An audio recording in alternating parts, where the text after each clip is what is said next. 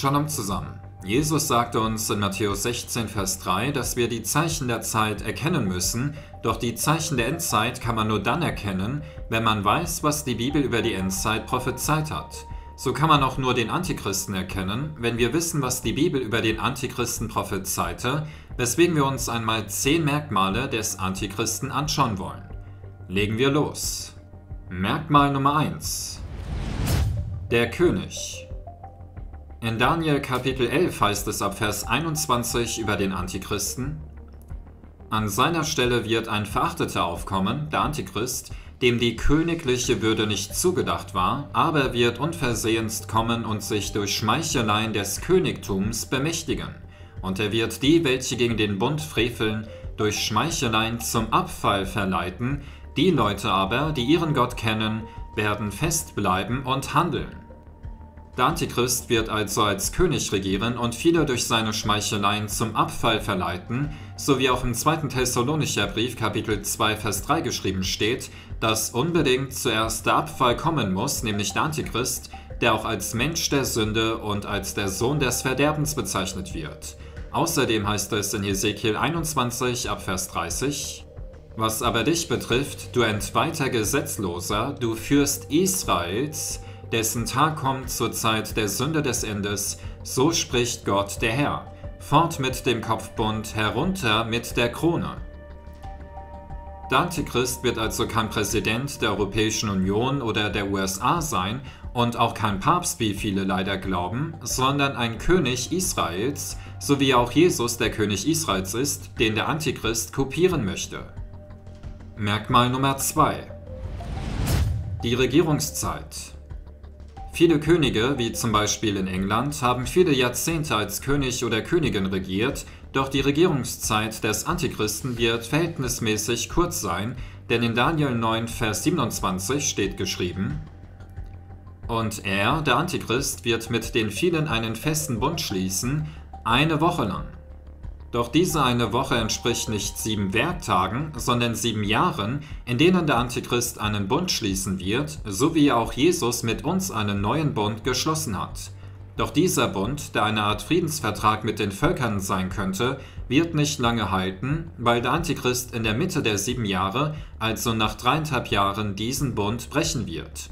Darum heißt es auch im 1. Thessalonicher Kapitel 5 Vers 3, wenn sie nämlich sagen werden Friede und Sicherheit, dann wird sie das Verderben plötzlich überfallen wie die Wehen eine schwangere Frau und sie werden nicht entfliehen. Merkmal Nummer 3 Der Gesetzlose Über den Antichristen wird in Daniel 7, Vers 25 folgendes prophezeit. Er wird den Höchsten lästern und die Heiligen des Höchsten vernichten und wird sich unterstehen, Festzeiten und Gesetz zu ändern. Sie werden in seine Hand gegeben eine Zeit und zwei Zeiten und eine halbe Zeit. In der letzten Phase der Drangsal, die auch als die große Drangsal bezeichnet wird, ändert der Antichrist für die letzten dreieinhalb Jahre seiner Regierungszeit das Gesetz und auch die Festzeiten, weswegen der Antichrist, wie wir in Hesekiel 21, Vers 30 gelesen haben, auch als entweihter Gesetzloser bezeichnet wird. Auch im Neuen Testament wird der Antichrist als der Gesetzlose bezeichnet, denn im 2. Thessalonicher Brief, Kapitel 2, Vers 8 heißt es, denn das Geheimnis der Gesetzlosigkeit ist schon am Wirken, und dann wird der Gesetzlose geoffenbart werden, der Antichrist, den der Herr Jesus verzerren wird durch den Hauch seines Mundes und den er durch die Erscheinung seiner Wiederkunft beseitigen wird. Denn Jesus hat uns vor 2000 Jahren gewarnt, dass wir nicht die Gesetzlosigkeit tun und lehren sollen, sondern das Gesetz Gottes tun und lehren sollen. So sagte Jesus in Matthäus 5 ab Vers 18, in Kapitel 7 Vers 23 und in Kapitel 24 Vers 12. Denn wahrlich, ich sage euch, bis Himmel und Erde vergangen sind, wird nicht ein Buchstabe noch ein einziges Strichlein vom Gesetz vergehen, bis alles geschehen ist. Wer nun eines von diesen kleinsten Geboten auflöst und die Leute so lehrt, der wird der Kleinste genannt werden im Reich der Himmel. Wer sie aber tut und lehrt, der wird groß genannt werden im Reich der Himmel.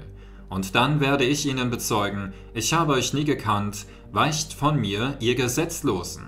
Und weil die Gesetzlosigkeit überhand nimmt, wird die Liebe in vielen erkalten. Merkmal Nummer 4. Der Sohn Gottes. Im 1. Johannesbrief Kapitel 2 ab Vers 18 und in Kapitel 4 Vers 3 heißt es, Kinder, es ist die letzte Stunde, und wie ihr gehört habt, dass der Antichrist kommt, so sind jetzt viele Antichristen aufgetreten. Daran erkennen wir, dass es die letzte Stunde ist. Wer ist der Lügner, wenn nicht der, welcher leugnet, dass Jesus der Christus ist?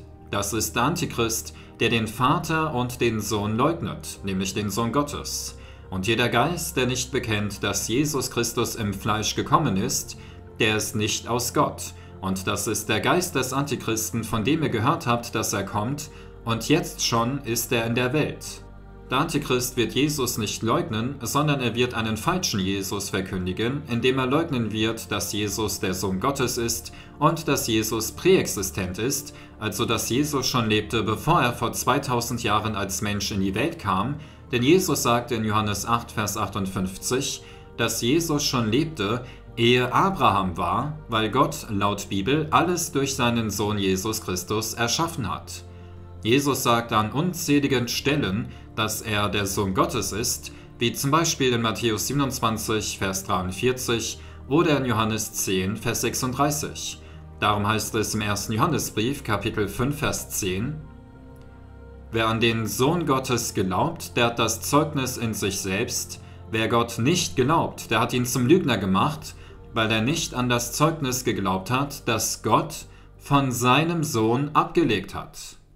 Merkmal Nummer 5 Der dritte Tempel Im zweiten Thessalonicher Brief Kapitel 2 heißt es ab Vers 3 Der Sohn des Verderbens, der Antichrist, der sich widersetzt und sich über alles erhebt, was Gott oder Gegenstand der Verehrung heißt, so dass er sich in den Tempel Gottes setzt als ein Gott und sich selbst für Gott ausgibt. Laut Bibel ist unser Körper ein Tempel Gottes, in dem der Heilige Geist wohnen soll, doch es wird bald noch einen dritten Tempel Gottes in Israel geben, den der Antichrist durch seine Gotteslästerungen entweihen wird, indem er sich selbst als Gott ausgibt. Der Tempel an sich ist nichts Schlimmes, denn es ist ja laut Bibel der Tempel Gottes, der im Buch Ezekiel und im Buch der Offenbarung beschrieben wird. So heißt es zum Beispiel in Offenbarung 12 ab Vers 1. Und mir wurde eine Messrute gegeben, gleich einem Stab, und der Engel stand da und sagte, Mache dich auf und miss den Tempel Gottes samt dem Altar und die, welche darin anbeten. Aber den Vorhof, der außerhalb des Tempels ist, lass aus und miss ihn nicht, denn er ist den Heidenvölkern übergeben worden, und sie werden die heilige Stadt zertreten 42 Monate lang nämlich dreieinhalb Jahre, was der Zeit der großen Drangsal entspricht, wenn der Antichrist seinen Bund brechen, das Gesetz ändern und sich im Tempel Gottes als Gott ausgeben wird. Merkmal Nummer 6 Der Gräuel der Verwüstung Im Buch Daniel wird in Kapitel 9, Vers 27 folgendes prophezeit. Und er, der Antichrist, wird mit den vielen einen festen Bund schließen, eine Woche lang, sieben Jahre, und in der Mitte der Woche, nach dreieinhalb Jahren, wird er Schlacht- und Speisopfer aufhören lassen, und neben dem Flügel werden Gräuel der Verwüstung aufgestellt. Man kann davon ausgehen, dass im dritten Tempel also wieder Schlacht- und Speisopfer eingeführt werden, die der Antichrist abschafft und durch den Gräuel der Verwüstung ersetzen wird, was identisch mit dem Bild des Tieres aus Offenbarung Kapitel 13 ist, einem Götzenbild am Tempel Gottes, über das ich schon einige Videos gemacht habe. So heißt es in Offenbarung 13, Vers 15. Und es wurde ihm gegeben, dem Bild des Tieres einen Geist zu verleihen, so dass das Bild des Tieres sogar redete und bewirkte, dass alle getötet wurden, die das Bild des Tieres nicht anbeteten.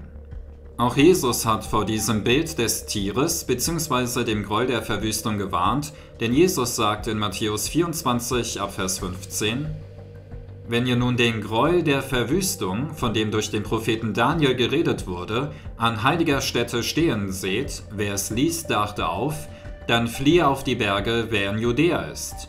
Bittet aber, dass eure Flucht nicht im Winter noch am Sabbat geschieht denn dann wird eine große Drangsal sein, wie von Anfang der Welt an bis jetzt keine gewesen ist und auch keine mehr kommen wird. Merkmal Nummer 7. Die zehn Könige. Israel besteht aus zwölf Stämmen, die in zwei Häuser aufgeteilt sind, nämlich zwei Stämme des Hauses Juda, also die Juden, und die zehn nichtjüdischen Stämme des Hauses Israels. Da der Antichrist nicht als König der Juden, sondern als König Israels bezeichnet wird, hat der Antichrist das Ziel, die zehn Könige des Hauses Israels in seinem Königreich zu vereinen.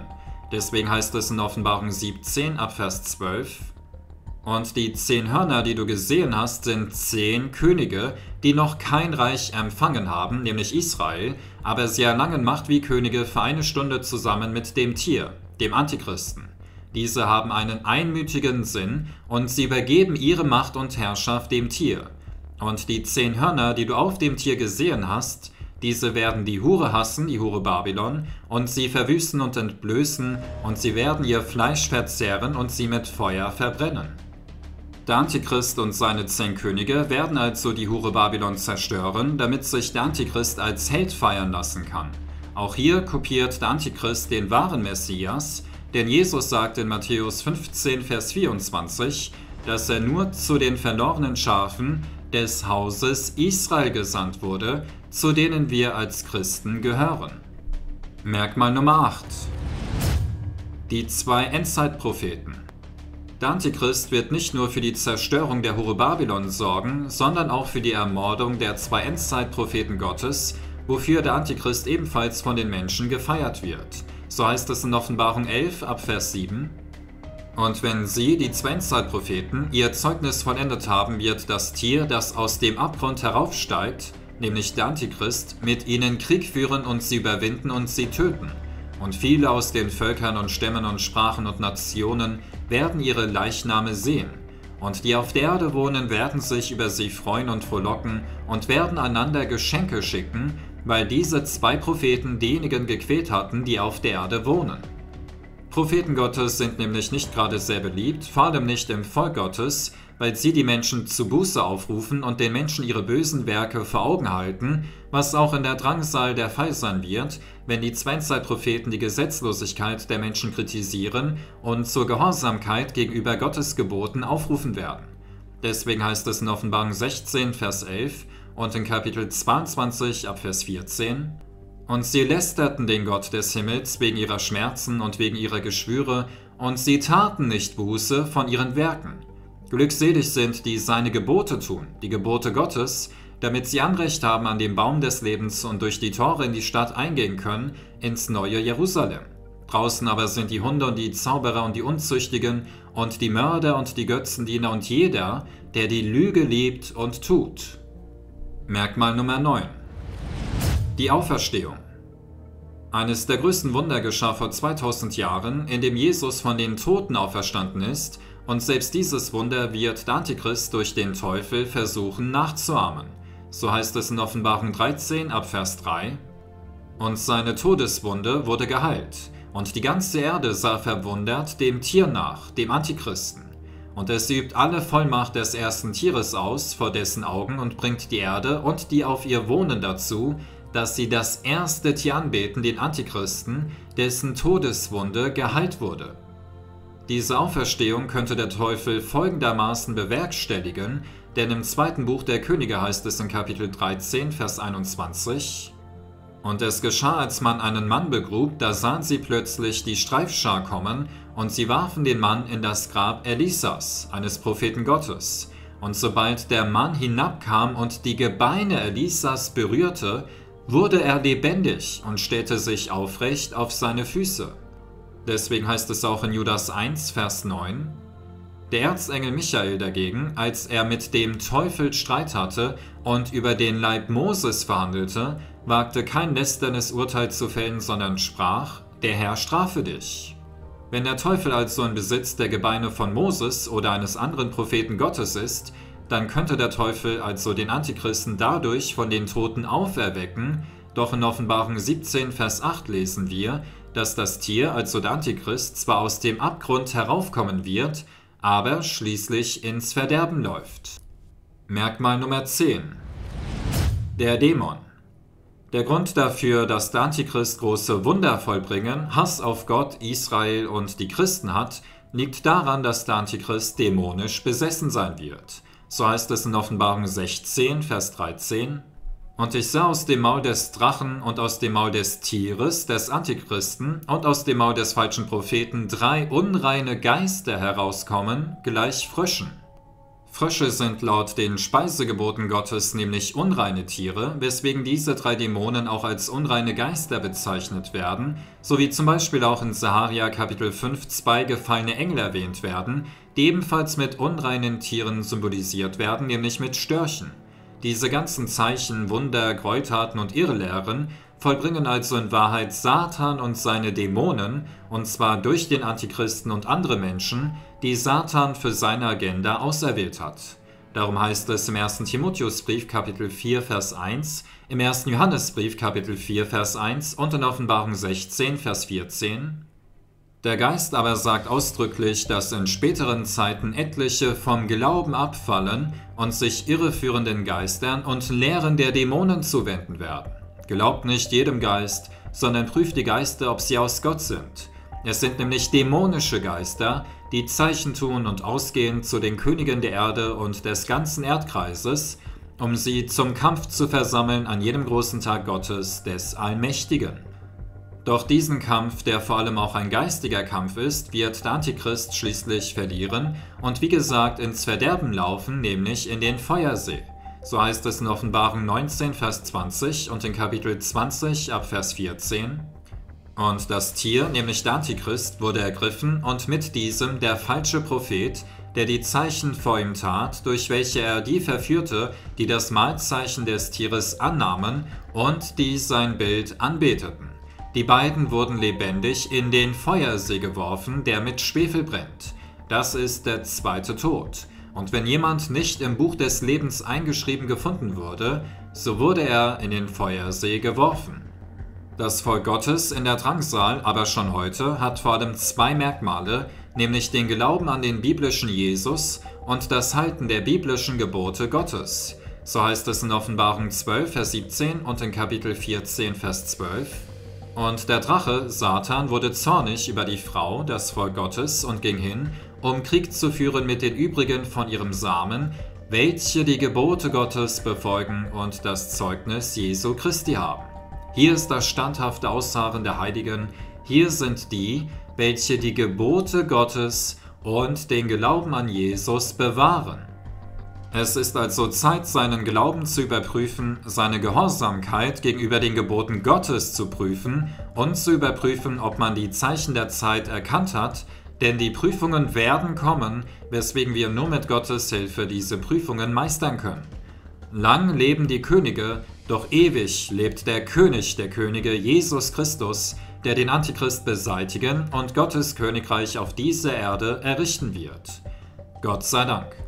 In diesem Sinne, lasst gerne ein Like da, kommentiert und teilt bitte das Video, abonniert und unterstützt gerne den Kanal und zu Risiken und Nebenwirkungen lesen Sie die Bibel und fragen Sie Gott um Erkenntnis, denn die Wahrheit kommt bald ans Tageslicht, der König Israels, der Richter der Welt und Sohn des lebendigen Gottes, Jesus Christus. Amen und Gottes Segen.